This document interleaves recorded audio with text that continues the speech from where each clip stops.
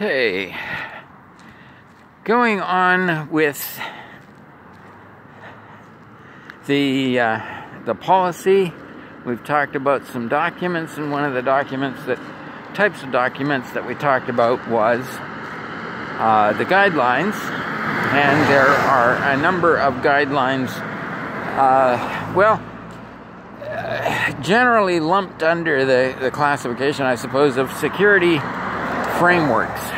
And uh, these come in a number of sizes and shapes and origins. Um, some of them are government uh, requirements.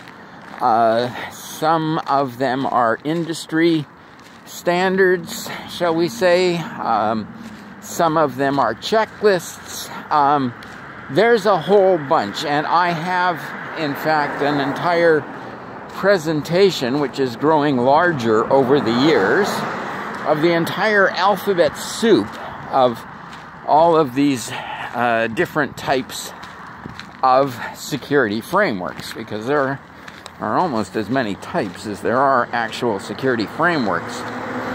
Um,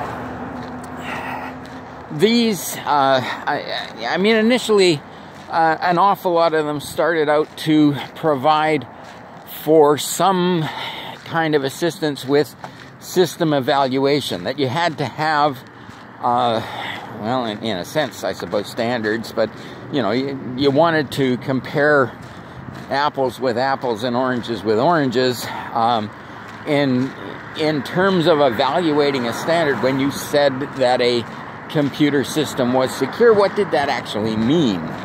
Uh, and so, how, uh, uh, you know, what kinds of uh, processes, what kinds of, of uh, guidelines, metrics uh, were you going to put together to evaluate systems? And, and the famous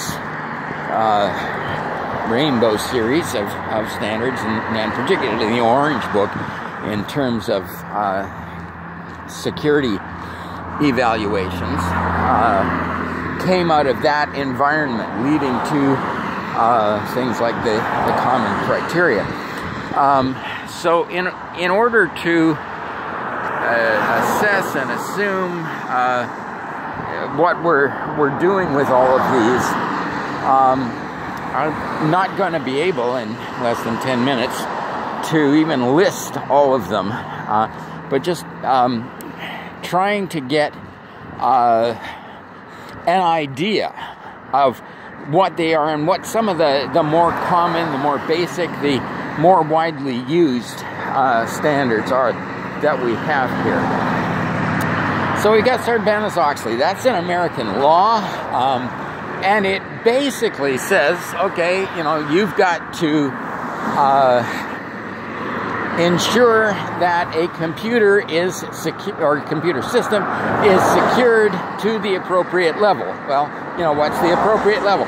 You know, there you get into all kinds of additional background documents and uh, uh, the uh, National uh, Standards Institute in the United States has has a whole raft, the, the 800 documents for the most part, um, describing what uh, that means for, for particular systems or how to uh, secure, sometimes in, in very, very useful detail. Uh, so uh, a lot of a lot of those uh, come out of the you know need for for that uh, from that you know law in the United States. then there's COSO. COSO is really um, you could be oh, very cynical about the origins of it. The uh, COSO stands for the Committee of Sponsoring Organizations of the uh, Treadway, I think it is, Commission. Um, and uh, this uh, resulted from uh, one of the big financial breakdowns in the United States, and the financial institutions wanted to um, tell people that uh, playing in the stock market was safe. Uh, in other words, they wanted to lie to people. But uh, you know, it, it did uh, provide this tool um, uh, that allowed for a, a, really very decent breakdown of your business into smaller, more manageable chunks so that you could start to secure the individual pieces and, and therefore make the entire organization more secure. Um, the financial uh, industry uh, has a, a, lot of other things. The, the Basel uh, commissions and their standards, um, particularly in terms of, of uh, risk management. Of course, um, when you're dealing with uh, the financial institutions, their idea of risk management is mostly capital risk, and we have to be sure that we're you know covering what they tend to refer to as operational risk, which is what we tend to think of as the entirety of risk management. Uh, we should probably think more of uh, capital risk, and they should probably think more of the operational risk.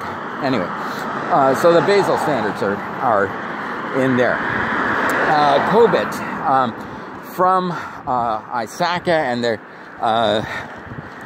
uh, their standard. Um, this, of course, is for auditing, um, and it's you know that's a, a good idea at any time uh, making sure that you have uh, your auditing done properly so that you know what you're doing. You can say whether or not you are secure. Um, interestingly, though, it says very little about actual technology. It's more about what can you prove. Uh, Zachman, the Zachman framework uh, for business analysis, and SABSA that came out of it, um, they provide a, a good framework for, again, sort of breaking down the business into more manageable chunks so that you can do your uh, analysis of what you need to do in security. Um, the uh, uh, the various maturity models, very interesting. Uh, the steps that they go through, um, and the interesting, most interesting thing that I find about the maturity models is um, not so much that they provide guidance, but that they warn you don't go more than one step at a time. Octave, in terms of risk management, um, PCI DSS, the, the, payment card industry data security standard, um, very much uh, a sort of a checklist of what you need to do. Um, and the uh, the ISO 27000 standards, a whole family of standards uh, there for for different areas. Now, um, we come back again to the common criteria, and the common criteria. Uh, um, again, this is where we get our uh, real breakdown in terms of the functional requirements and assurance requirements because it goes into that. Not only what we are um, securing, but how do we know that we have in fact done the proper job and, and that it is secure? But there's an awful lot of defining that you have to do if you are going to use the common criteria. So um, it's it's not so much complete guidance there as your ability uh, to define, uh, to specify, and to assess whether or not you are actually doing a good job in in regard to security. So, I, I, like I say, whole alphabet soup in security frameworks, um, and just you know, be aware of them. Uh, know um, what it is uh, that you need to follow and how it's going to help you and what shortcomings it has you may need to prop up with some other security framework.